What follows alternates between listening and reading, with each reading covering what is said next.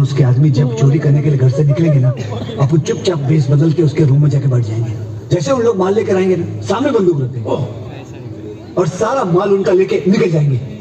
और अपने को वो तोतला तिवारी को कितना चालीस लाख देने का ना? चालीस लाख अगर चार करोड़ से निकल जाते तो कितना बचेगा अपने पास? तीन साठ। हिस्सा साठ। उसको अपने पास रखेंगे।